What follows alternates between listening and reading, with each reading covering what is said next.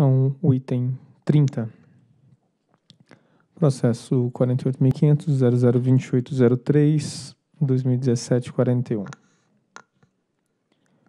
Trata-se do recurso administrativo interposto pela São João Transmissora de Energia S.A., em face do despacho 2001 de 2017, emitido pela Superintendência de Fiscalização do Serviço de Eletricidade SFE, que cancelou os termos de liberação parciais que autorizaram a entrada em operação comercial provisória a partir de 31 de agosto de 2016 do empreendimento otorgado a São João Transmissora de Energia S.A. O relator foi o diretor André Peptoni da Nóbrega e agora o relator do voto vista é o diretor Tiago de Barros Correia. Então, por meio do despacho número 1453, de maio de 17, a SFE decidiu sobrestar o processo administrativo 48500-004259 de 2016, relativo à fiscalização de obras do empreendimento otorgado à São João Transmissora, até que se tenha a decisão final da ANEL sobre a validade dos termos de liberação parciais emitidos em função da apuração de fatos novos a respeito da entrada da operação comercial da linha de transmissão 500 kV, Guilboê, São João do Piauí, Circuito 1, em análise do âmbito do processo administrativo 48500002803-2017, lixo 41. Em 22 de junho de 2017, mediante a carta da São João, de número 110, a concessionária apresentou petição sobre a suspensão do processo de fiscalização e a abertura do presente processo, que versa sobre a validade dos termos de liberação parciais emitidos pelo ONS, na qual reiterou os argumentos anteriormente apresentados no âmbito do processo punitivo relacionados às não conformidades constantes no termo de notificação, solicitando seu cancelamento, e questionou as motivações da SFE em iniciar novo processo visando atestar a validade dos TLPs emitidos pelo ONS. Após a emissão da nota técnica número 64, em 12 de julho de 2017, foi publicado no Diário Oficial da União, despacho número 2001, com a decisão de cancelar os termos de liberação parciais que autorizaram a entrada em operação comercial provisória a partir de 31 de agosto de 2016 da linha de transmissão 500 kV Guilboes do São João do Piauí, circuito 1, otorgada transmissora. Por meio do ofício número 283, a SFA informou a São João Transmissora acerca da decisão proferida pelo despacho, concedendo prazo de 10 dias para manifestação a partir do recebimento do ofício. Segundo a SFE, o ofício foi recebido pela transmissora em 19 de julho de 2017. Em 24 de julho, a São João Transmissora interpôs recurso administrativo com pedido de efeito suspensivo contra a decisão do despacho 2001, requerendo a anulação do ato do ANEL com imediata comunicação do Operador Nacional do Sistema para que sejam resguardados os efeitos dos TLPs. E caso a decisão não seja reconsiderada pela Superintendência de Fiscalização do Serviço de Eletricidade, emitente do despacho, que o recurso fosse submetido à diretoria da ANEL.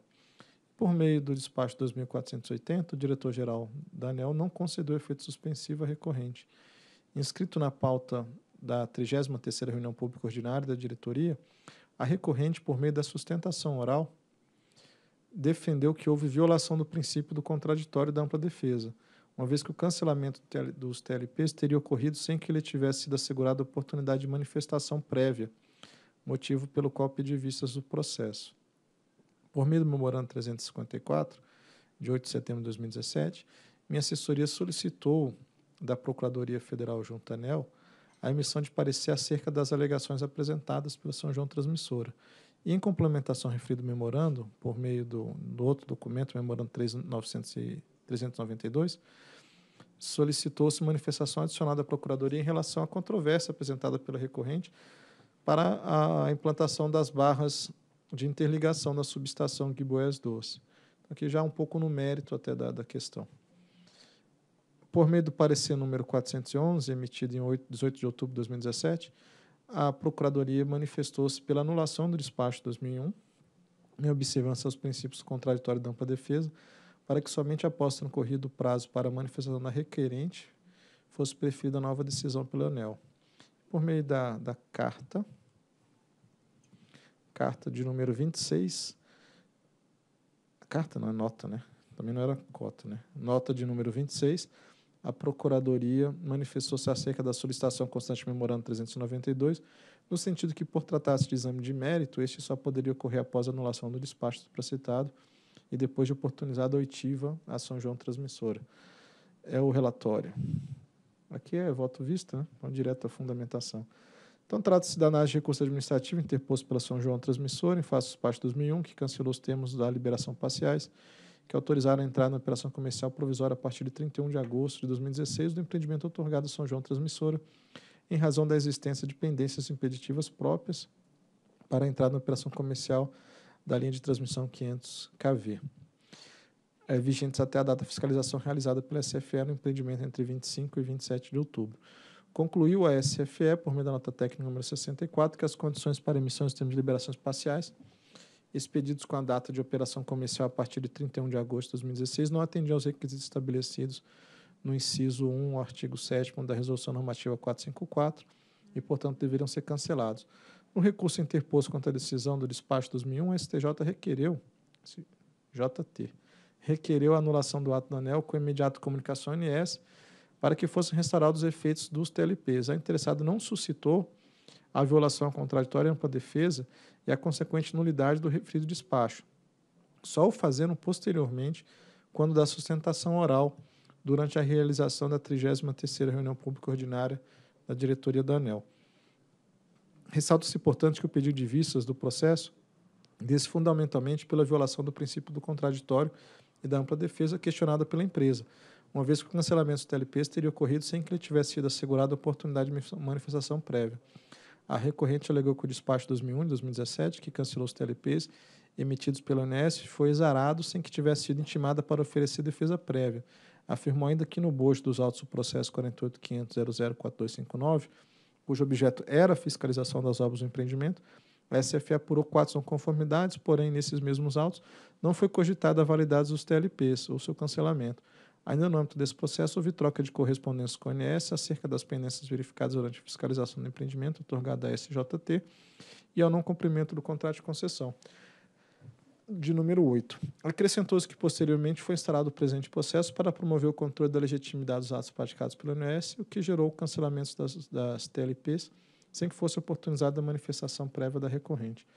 Destacou que a interposição do recurso administrativo não supra a necessidade de assegurar a manifestação prévia do interessado, ante a emissão da decisão, que poderá repercutir na esfera dos seus interesses.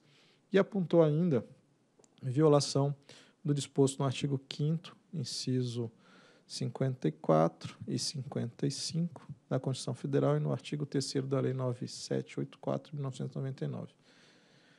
Instada a manifestar-se, a Procuradoria entende que, embora a interessada não tenha suscitado a violação contraditória ampla defesa quando da apresentação do recurso administrativo, isso não impede a administração de anular o ato legal, tal como previsto na Lei 9784. A decisão legal é aquela proferida em desacordo com as normas do ordenamento jurídico, que fere os princípios administrativos basilares, tais como o da impessoalidade, da moralidade e da publicidade. Também se reporta ilegal a decisão proferida por autoridade competente ou em desacordo com as garantias do contraditório e da ampla defesa.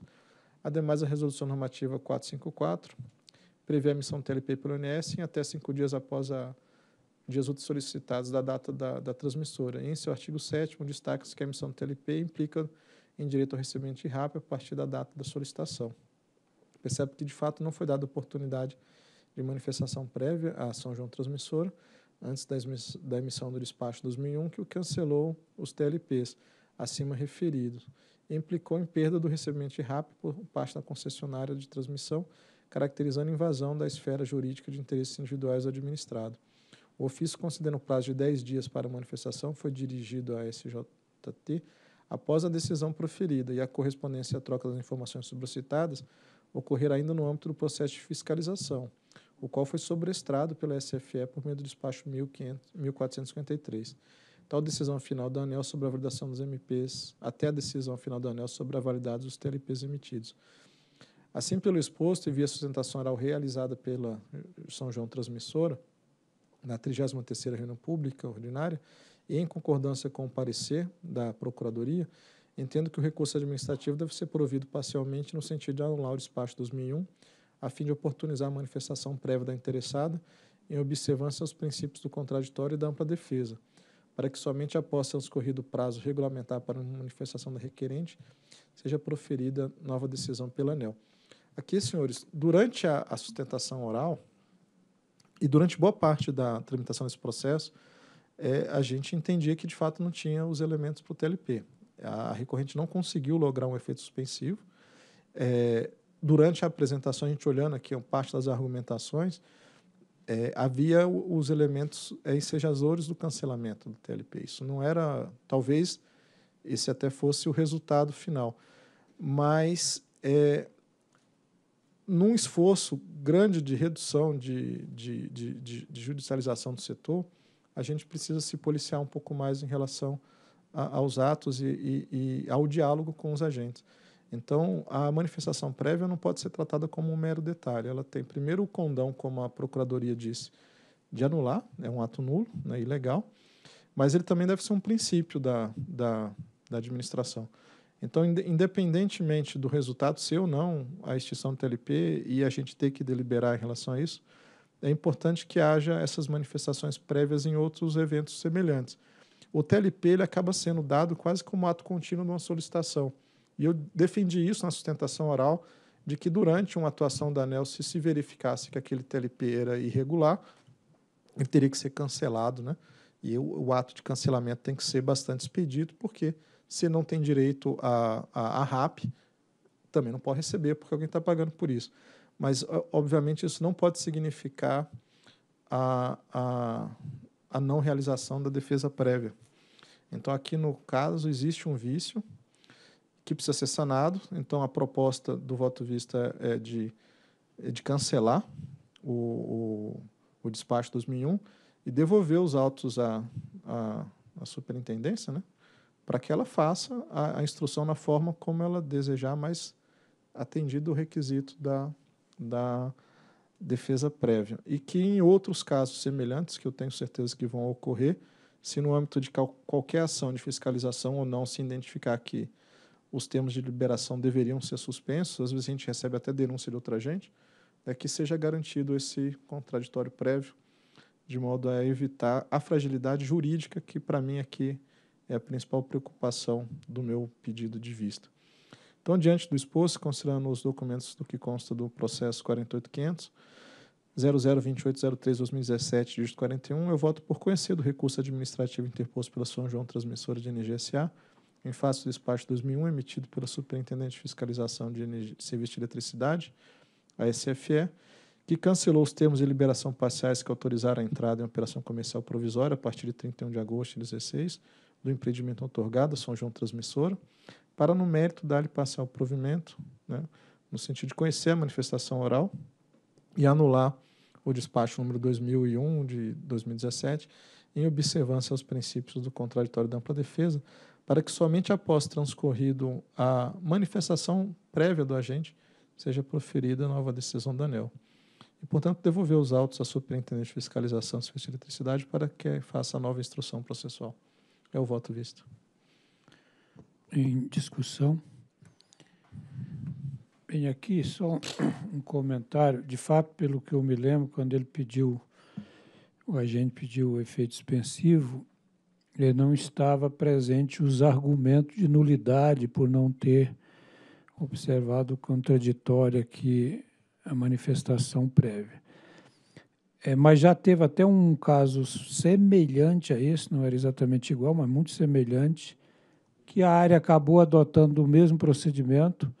Aí, no pedido de, de efeito suspensivo, já foi alegada essa questão. Inclusive, eu pedi para que a área reavaliasse lá e, e, ela, ela até já tomou a iniciativa. Eu estou falando isso no sentido de que eu acho que já houve a internalização da área e ela mesmo anulou o ato que tinha sido praticado, porque tinha um vício igual a esse, exatamente para evitar que isso tenha que ser deliberada a nível da, da diretoria, no eventual pedido de efeito suspensivo e depois, eventualmente, pelo colegiado. Então, eu acho que essa questão, pelo que eu entendi que foi alegada aqui na sustentação oral e o, para, o, o parecer da Procuradoria confirma que há realmente uma, um vício formal que tem que ser é, sanado, ou que tem que ser anulado o ato, ele é nulo, né?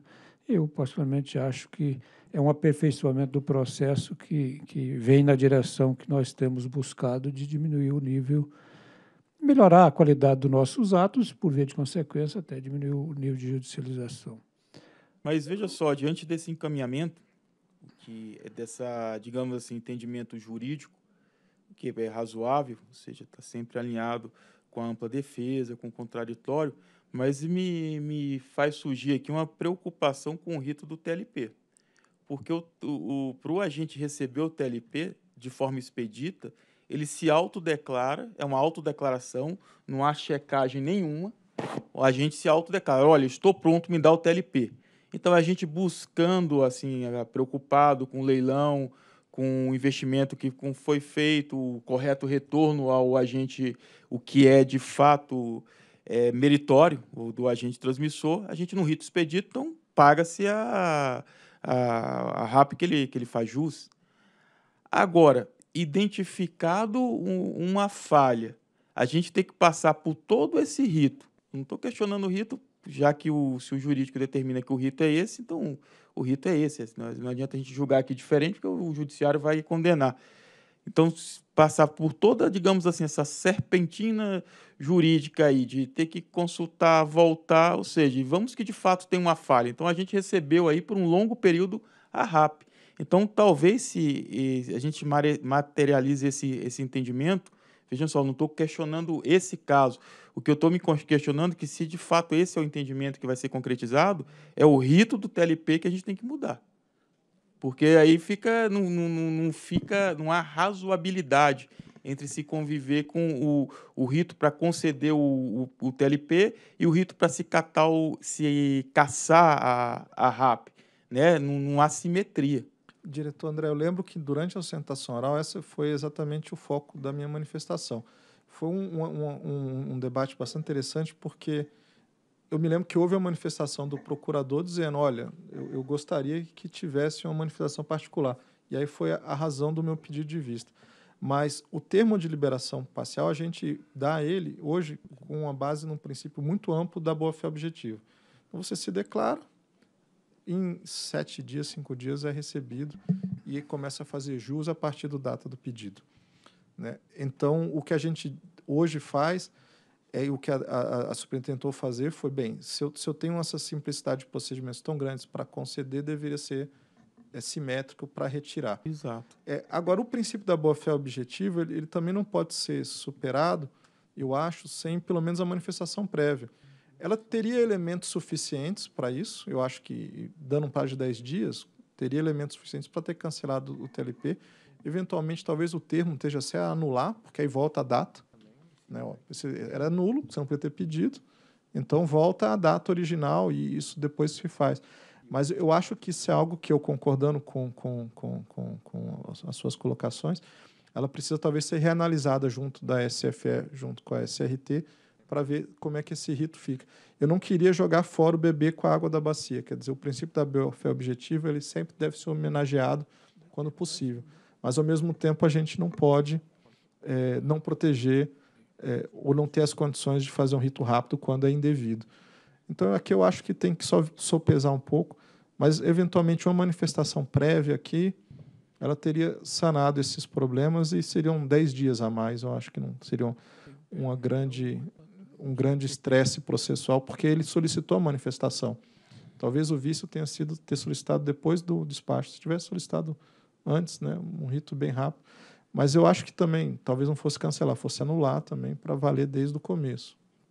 Mas é algo que cabe às duas superintendências sentarem e acertar a, a Bem, o procedimento. O Sandoval quer fazer uma consideração, mas, eh, André, concordando com o que você falou, mas pelo que eu me lembro, já há uma encomenda para SRT repensar essa questão do, da liberação do, do, do, TLP, porque eu acho que você tem razão, ele tem um, todo uma, um rito hoje estabelecido que é bem expedito, mas tem essa boa-fé objetiva que ela deve prevalecer, mas eu acho que tem que ter uma checagem mínima. Então, pelo que eu me lembro, já há uma encomenda no sentido de que a, a regulação dá uma reavaliada se é esse rito que deve ser é, utilizado tem algum aperfeiçoamento. É, eu, eu, imagino que até uma das, uma das iniciativas já tomadas é quando ele alega que o impedimento é de terceiro, a gente já consulta esse terceiro. Né? Então, isso apareceu já em um processo nosso, em que na consulta do terceiro, o terceiro não, não tem nada comigo aqui não. É no mínimo isso, né? Porque senão fica fácil. Bem, é, boa tarde, senhores diretores, é, procurador-geral, secretário. É, na realidade, esse processo é um processo que, como foi bem falado, ele foi houve uma preocupação ao, ao regulamentar o tema em dar uma celeridade para o agente perceber a receita quando ele de fato cumpriu suas obrigações contratuais. E por outro lado, a resolução 454, ela prevê que o ONS de ofício cancele um TLP que ele emitiu, doravante entenda que ele não está é, que o agente não, está, não, não concluiu as suas instalações. Então, veja que no próprio dispositivo regulamentar já há uma, uma, uma previsão para que o próprio ONS faça essa, esse cancelamento. Ou seja, é um rito rápido, expedito. E nesse mesmo instrumento regulatório, ele diz também que a ANEL pode caçar, é, cancelar o TLP se entender que ele não está pronto. Então, veja, é, a dinâmica de integração de instalações é uma dinâmica como o próprio nome diz, é muito dinâmico. Então, nós temos aí dezenas, centenas de TLPs que são emitidos mensalmente pelo ONS. E aí a gente tem uma causa uma grande preocupação para a área, sob o ponto de vista operacional. Porque se para todo TLP que nós entendermos que está incongruente, não entrou em operação, esse caso em específico, houve uma fiscalização, a fiscalização foi exaurida, já foi emitida a decisão da área, ou seja, a empresa ali se, se foi ela foi arguída sobre a, as constatações da fiscalização de que ela não estava pronta naquela etapa. Nós abrimos um outro processo, que foi o processo que está sendo deliberado agora, para redundar na, no cancelamento do TLP. Então, eh, ao respeitando a decisão da, da Procuradoria, obviamente, eu trago aqui uma preocupação enorme, porque no caso concreto, a conclusão da fiscalização é que a obra não está pronta até hoje. Então, veja, até hoje a obra não está pronta e nós vamos continuar pagando a receita quando já há a constatação da fiscalização que a obra não está pronta. Então, eu Claro, vamos internalizar o que for decidido aqui, mas o que eu queria trazer aqui é que nós temos uma, uma, uma dinâmica muito grande por parte do ONS. O próprio ONS pode cancelar o TLP se ele entender que emitiu é, e depois a empresa identificou que ela não estava pronta. O ONS pode cancelar. É, não tem um registro de, de casos que já tenham ocorrido isso, mas há disposição regulamentar para isso. Com relação ao cancelamento do TLP, já tivemos alguns casos. Esse caso que o doutor Romeu citou em especial, é, a, a, área cancelou o, o, a suspensão do, do TLP porque houve uma, uma segunda diligência lá no local e não ficou, não restou suficientemente claro é, que a empresa não estava concluída, ou seja, à luz de novas informações, nós é, entendemos, como foi falado lá na reunião com a gente, que a, a, a, imposição de penalidade ela só pode ocorrer quando há convicção clara de descumprimento de regras e procedimentos. E foi o que ocorreu então, naquele caso. É, eu acho, viu, Sandoval, que eu acho que pela discussão, e já tínhamos feito essa discussão em outras oportunidades, fica claro o seguinte: se o rito para conceder o TLP não está bom, tem que ser aperfeiçoado, né? porque também não pode ser corriqueiro uh, dar o TLP e depois cancelar. Isso tem que ser exceção. Né? Então, eu acho que a regra para fazer a liberação é que, se não tiver, é, vamos dizer assim, apropriada, se tiver que fazer algum tipo de checagem, se o INS tem lá algum meio para fazer minimamente alguma checagem, se não tiver adequado, tem que ser aperfeiçoado. Agora, na minha compreensão do que está sendo aqui encaminhado, é, não resta dúvida que para que você casse a receita de um agente, você tem que respeitar o devido processo. Não tem como você tomar essa decisão sem notificá-lo e oportunizar que ele coloque a, a, ponderação dele, porque pode ser que eventualmente também a, ONS ou a própria agência tem, como você citou o segundo caso, pode ser que não reste assim inequívoco essa situação de que ele deve ser cancelado, porque senão não adianta, não é sustentável. A gente faz isso, ele vai na justiça, a gente sabe que nesse ponto ah, o judiciário tem uma grande sensibilidade. Se, o rito para o judiciário é algo muito relevante. Se ele não for observado, acaba perdendo tempo, né? porque você cancela, mas depois ele acaba não prevalecendo até que você faz o saneamento do processo, talvez você perde um tempo que não deveria perder. Então, de novo, eu acho que tem que olhar todo o processo e ver aonde está alguma fragilidade, como o André colocou. Se na concessão precisa robustecer um pouco mais, que seja feito, para que o caso de cancelamento seja caso excepcional, mas se ele acontecer, eu acho que pela, pela é, análise jurídica que foi feita, é um, um, rito que não tem como não ser observado. Entendeu? Mas, hein, Romeu, concordando com sua fala e observando que, de fato, o, o, o rito é um valor muito nobre para o judiciário, mas eu pondero também que as, os encaminhamentos têm que ter simetria. Se a gente não tem rito para conceder o TLP, é sumário, e eu não posso ter um rito sumário para caçar, em função do judiciário, que eu concordo com você. Se a gente caça, isso é um valor, já está demonstrado aqui diante da nossa experiência, que o judiciário ele privilegia ampla defesa, contraditório, se não tiver, ele cancela sumariamente. Então, assim, mas não há razoabilidade a gente emitir também sumariamente. Então a gente tem que conviver com a ferramenta equilibrada. Hoje está desequilibrado. Se é, diante dessa decisão está claro que a gente não pode simplesmente ca caçar para depois analisar, então eu proponho também que é, não se conceda o TLP sumariamente, que se exerça o processo, pega a validação do anel do INS e se conceda o TLP até a nova norma identificar o que é razoável para a gente ter os atos concatenados, porque senão vai haver uma discrepância aí que não é salutar para o mercado, não é saudável para o ambiente da, da regulação. É, eu não sei se a SFE tem essa informação, mas pela minha lembrança já foi feita essa encomenda e parece que já está sendo trabalhado no sentido de aprimorar o processo de concessão do TLP. Já foi feito? É, é, a resolução 454, ela é de 2011, ela consta na agenda regulatória para ser aprimorada é, agora em dezembro. Então, em dezembro, a SRT vai, deve instruir uma, uma audiência Para iniciar ou para concluir? Para iniciar. É, então, diante disso, eu proponho assim, até eu concordo com o encaminhamento é, dado pelo voto vista, que, diante do aprimoramento jurídico é isso mesmo, mas eu faria uma proposição adicional para que se suspenda a emissão do TLP por rito sumário. André, Já que a gente não pode caçar, então também acho que a gente não pode conceder. Isso não é saudável para o ambiente regulatório.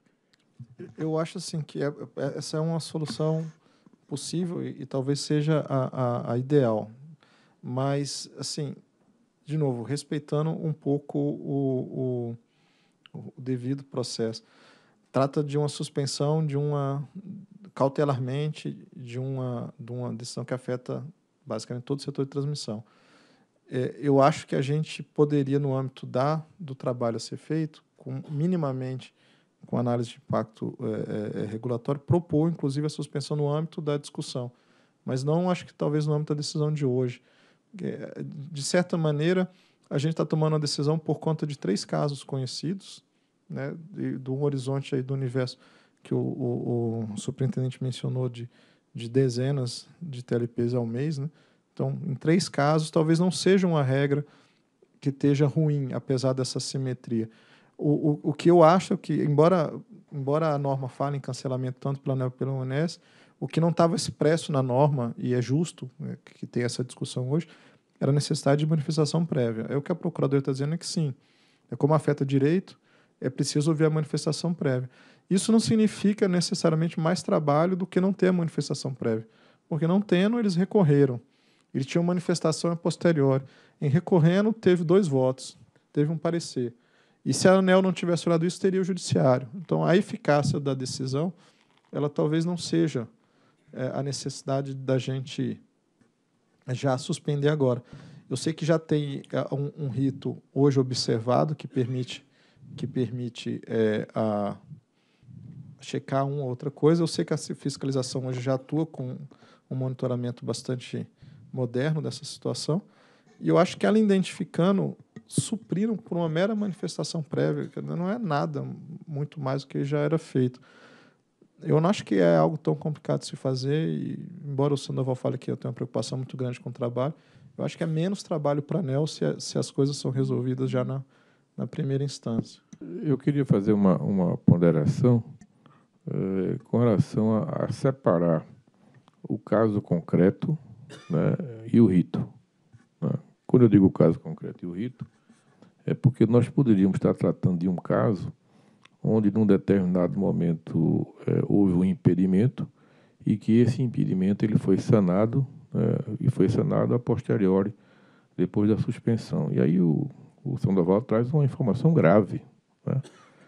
que, é, apesar de toda essa discussão, a instalação ainda não está em operação.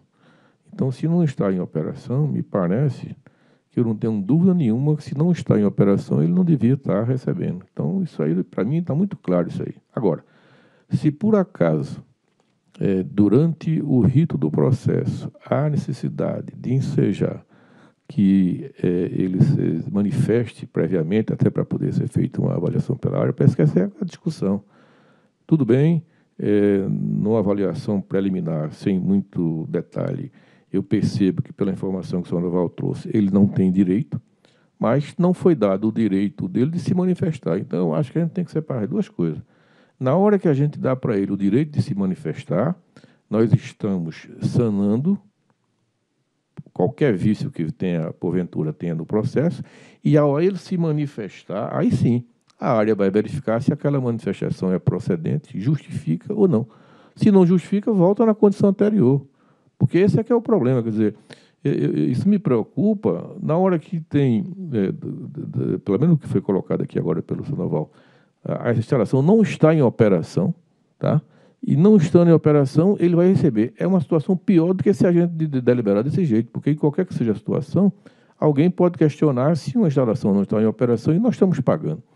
Então, me parece que nós resolveríamos, se a gente separa as duas questões, uma é o caso concreto. Mas o caso concreto ele só vai se caracterizar quando houver a manifestação dele e a SFE analisar se realmente procede ou não. Então, se nós quisermos sanar esse vício, é simplesmente considerar o seu encaminhamento, ele se manifesta, a SFE avalia aquela manifestação dele e vê se procede ou não. Pelo visto, sem um mau detalhe, ele vai ter dificuldade de justificar que vai receber uma receita, mesmo que parcial, de uma instalação que não está em operação. É, aquele, é aquela ideia que nós tivemos no, no processo anterior. O cidadão acha que está pronto, vai até no Ministério dizer que está pronto, e quando as áreas vão lá e o próprio INSS vai lá, não está pronto. Então, esse conceito de pronto, eu acho que são duas questões. Uma é o caso concreto e outra é o rito. Preservar o rito, ter o cuidado com o rito, até porque isso pode chegar numa segunda derivada, no caso aí do, da questão judicial, e criar uma certa dificuldade do rito, tudo bem. Mas, para mim, são duas coisas distintas. Se para sanar é preciso que ele se manifeste, não tem problema. Zero o processo, ele se manifesta, a SFA a reavalia e volta para a gente deliberar. Eu imagino que seja uma coisa desse tipo. É, nem precisa voltar para nós. Né? Infelizmente, aqui é aquela história de que, é, pelo que eu entendi, começou um rito não apropriado, e aí, pelo que eu entendi, é caso de nulidade, não é isso? Só, pelo que. Não é isso? Só deixar claro aqui, doutor, é uma questão nova pode ter uma, uma confusão até para os agentes aqui. Aqui a gente não está tratando de penalidade, apesar de ser SFE, nessa questão do cancelamento de TLP, a ANEL pode determinar o cancelamento, pode determinar a retificação, e não necessariamente tem que seguir o rito de um processo de fiscalização. Ele só tem que ser ouvido antes, porque a ANEL emitiu um despacho, e esse despacho invadiu a esfera jurídica da empresa, apesar de considerar que esse TLP tem uma natureza precária. Só que foi o rito que a ANEL, a ANEL considerou, né? Então, eu acho que isso dá uma segurança jurídica nessa questão, mas o, pro, o problema, acho que o doutor André colocou bastante, é nesse rito que está gerando algumas falhas. Por exemplo, a preocupação do TLP existe também, pior ainda, no, no TLD, termo da liberação definitiva. Imagina, um agente informa que está tá pronto, recebe o TLD e a própria norma permite a ele devolver a garantia. Então chegou um caso lá que a gente pediu a devolução da garantia, porque tinha um TL, TLD, o definitivo, só que paralelo a isso eu descobri que tinha um processo de fiscalização que mostrava que a gente sequer também tinha iniciado as obras. Ou seja, houve uma, pode ser até uma, uma má fé, né? nesse sentido. É. Então, nesse sentido, aí a questão não é nem devolver a garantia, mas executar a garantia. Né?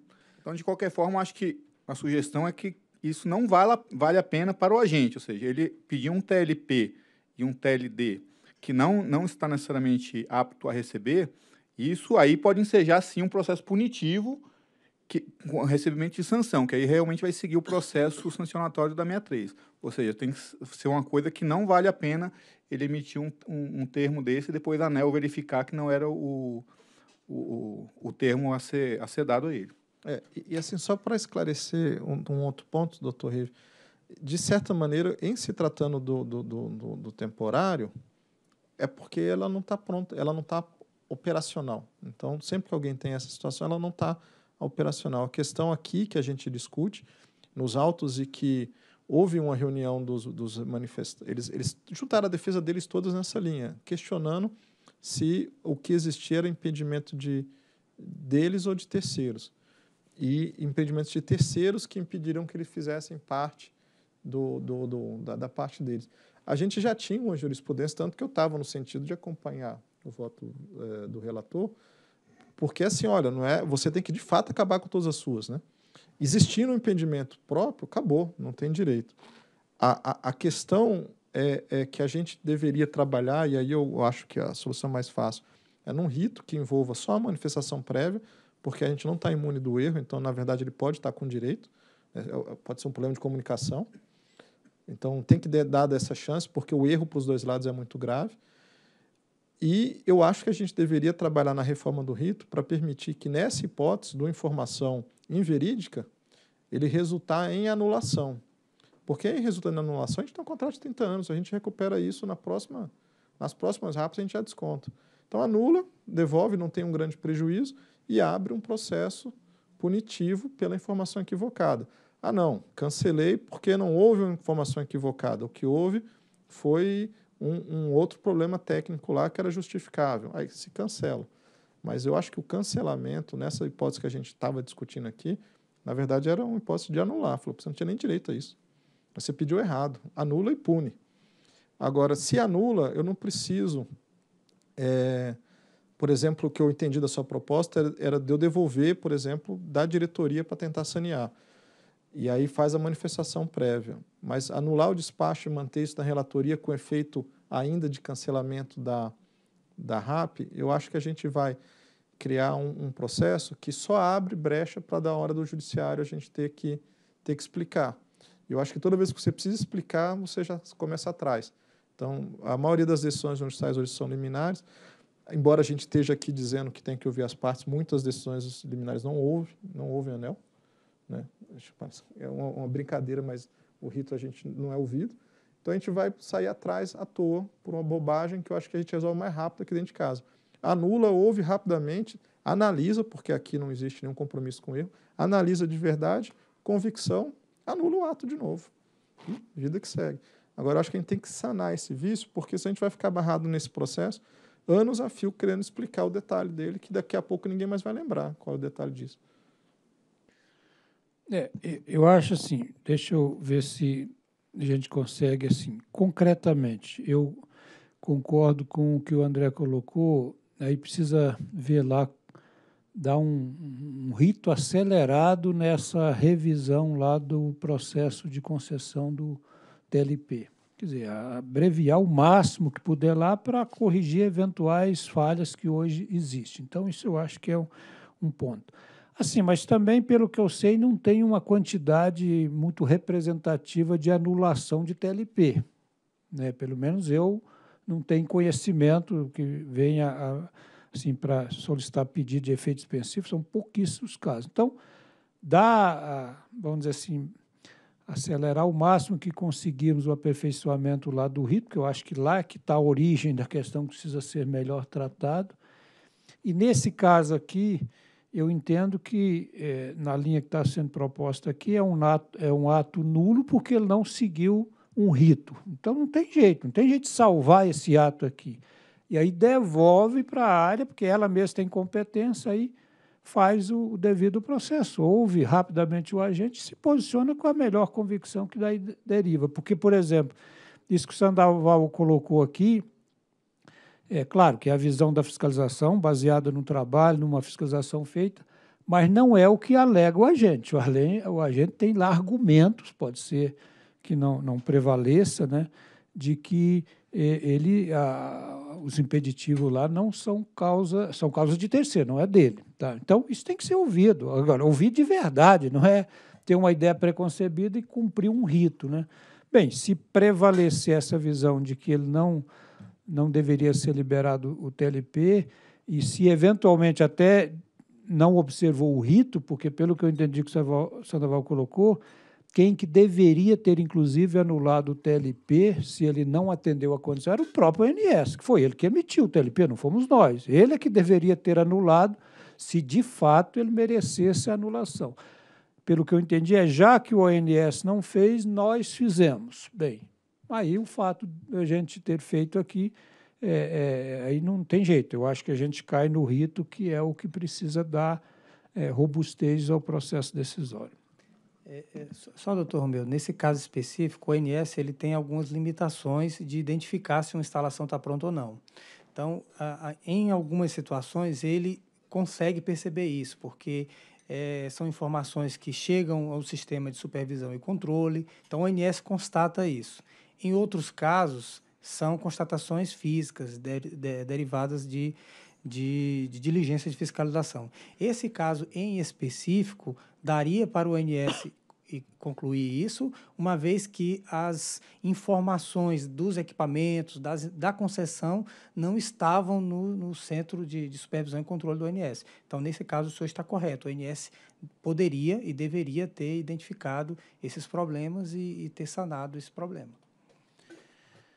Mas acho que sei, o que, que vocês acham? Acho que já a, a grande aqui. dúvida aqui, eu acho que teriam duas colocações. A primeira do relator, no sentido de seria conveniente já no âmbito desse processo suspender novos TLPs.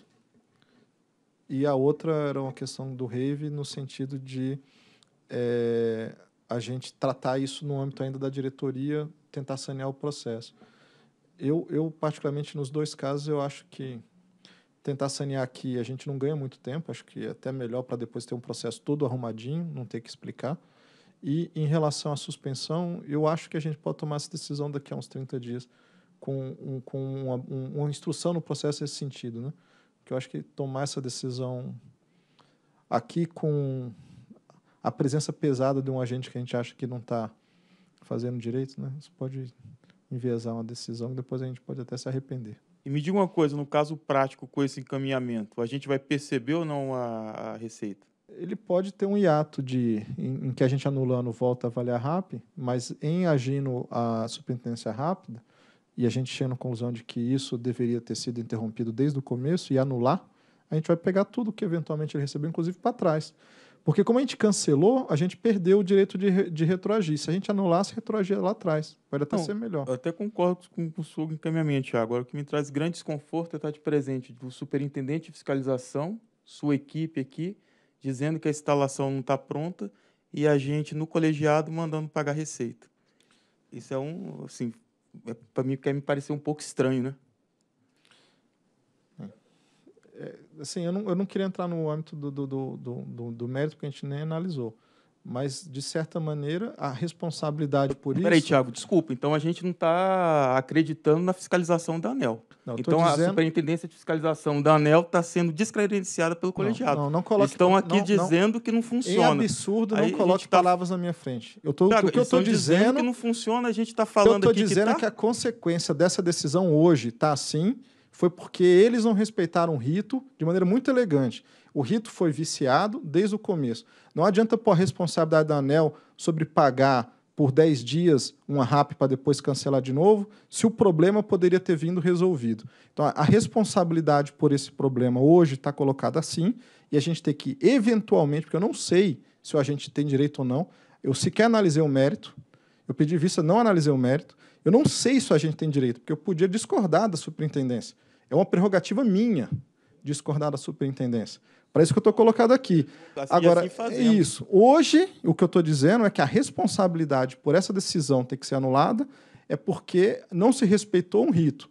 E com toda a consideração área técnica, era um rito até difícil de ser observado, porque a norma era relativamente ausente em relação a isso.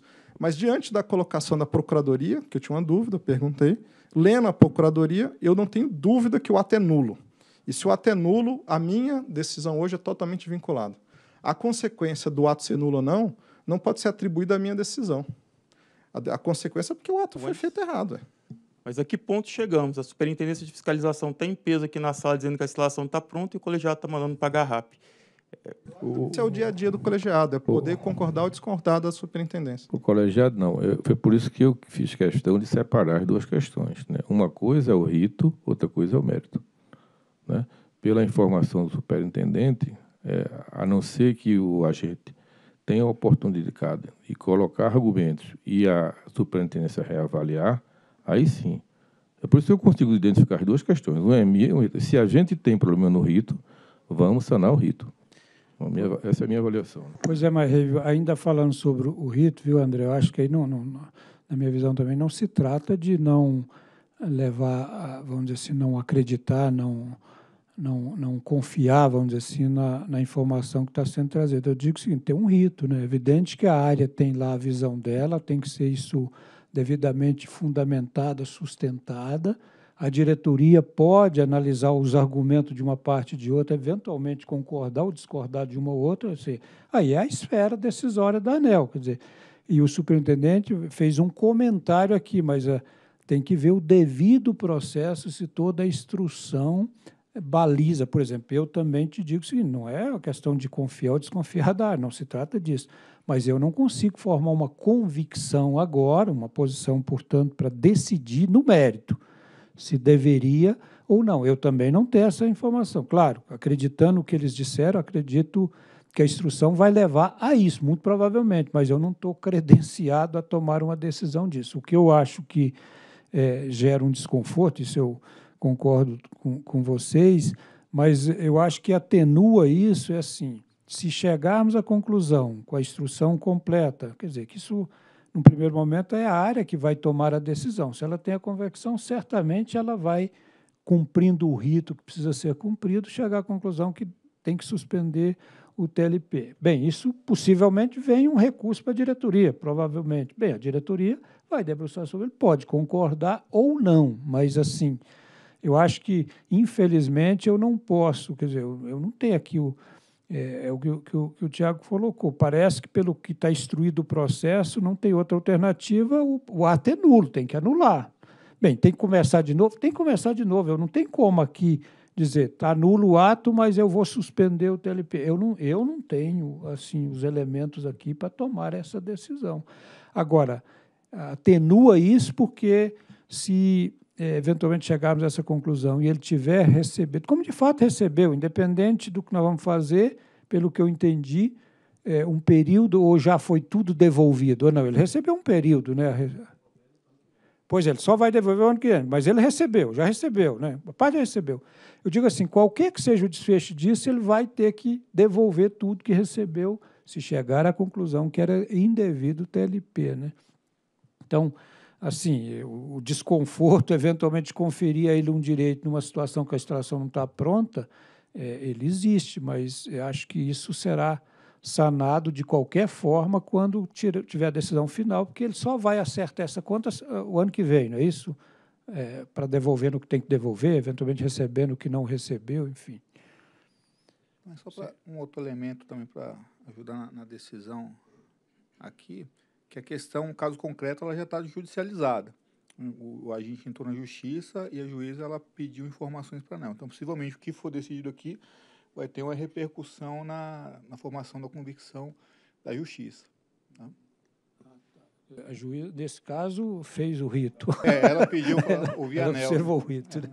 Mas ainda não tomou a decisão, né? Não, ainda não. É, pode final, ou não, é. depende. Claro que se nós anularmos, perdeu o objeto lá, imagino, né? Exato. É Agora, se não anular, ela pode eventualmente anular ou não, né? Ah, entendi. Bem, acho que temos aqui mais alguma observação? Algum? Não.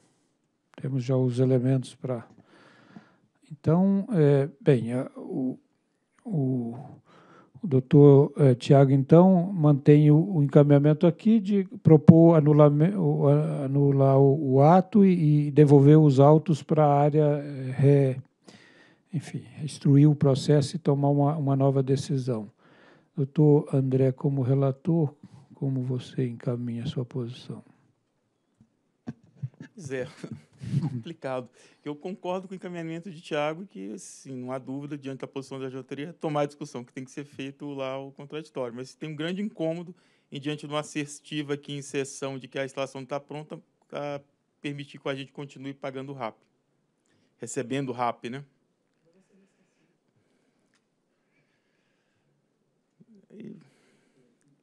Né, desculpa, André, mas isso é que eu, que eu insisto assim, porque, enfim, estamos realmente numa encruzilhada, é. mas temos que sair dessa encruzilhada. Assim, o que atenua essa, esse incômodo, que eu também compartilho do mesmo, é que qualquer que seja a solução, ele não vai ficar com esse dinheiro. Se ela for no sentido de que ele não faz jus a essa RAP nesse período, porque ele não tinha direito ao TLP, ele será, ele será devolvido esse valor. É isso? Então, e, e, é por um período curto, que eu acredito que esse contraditório é o prazo de 10 dias, não é isso, Ricardo? O Brandão, desculpa. O... Eu, fui consertar, ficou pior, né? Marcelo Escalante, desculpa. Ricardo, o prazo Brandão, da, da lei. Marcelo Escalante. O prazo mínimo seria, acho que, 15 dias. Hein? Aí eu tenho que avaliar, mas o prazo para intimação mínimo seria de 15 ah, tá, dias. Um, um... segue a 273. Ah, né? tá ok. Segue a norma de processo é, administrativo da ANEL, né? Que seja 15 dias. Né? Você não, é, não é um prazo. Meu amigo, você ainda tinha duas opções. Uhum. Ou Marcelo Brandão ou Ricardo Escalante. mas eu preferi abreviar, né? eu fui direto para Marcelo Escalante. Né? Assim, diminui um pouco o desconforto. Né? É certo. Bem, mas, enfim. É, ok. Mas então eu, eu acompanho o voto do Tiago. Então, doutor André acompanha o voto vista, doutor. Eu, eu também acompanho o voto do Tiago.